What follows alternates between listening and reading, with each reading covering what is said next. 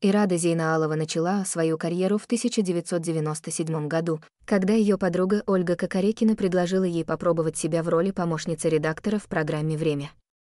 Этот шаг стал решающим в ее профессиональной жизни. Она быстро продвинулась по карьерной лестнице, став редактором и переводчиком, а затем и ведущей телепередачи. Своим дебютом на телевидении в 2000 году в программе «Время и Рада» утвердилась как талантливая журналистка. Ее способность освещать широкий спектр тем, от политических событий до природных катастроф и спортивных мероприятий, позволила ей занять видное место среди тележурналистов России. Зейнаалова сыграла значительную роль в развитии новостных программ на российском телевидении. Ее участие в создании Ньюсрума и работа в качестве ведущей помогли модернизировать подход к подаче новостей, делая их более доступными и интересными для широкой аудитории.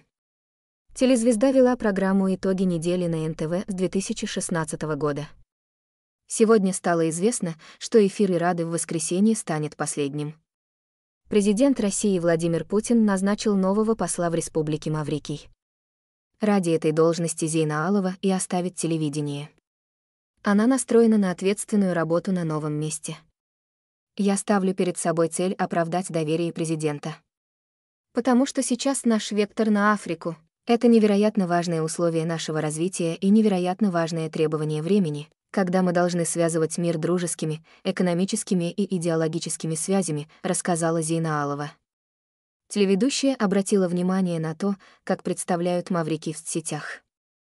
По мнению Ирады, возможности государства куда обширнее. У Маврикии очень большой потенциал. Это государство дружественное нам с момента своего, грубо говоря, основания, с момента получения независимости. У Советского Союза были большие традиции дружбы и помощи Маврикию. В 2025 году исполнится 50 лет с того момента, как мы спасли эту страну по-настоящему после цунами. Советский Союз был единственным государством, которое пришло на помощь Маврикию. И это важная дата. Она видит символизм в том, что именно сейчас отправится на Маврикий.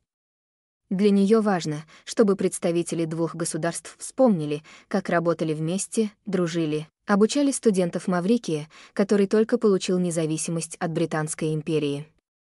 Там есть что делать, и это чрезвычайно важно.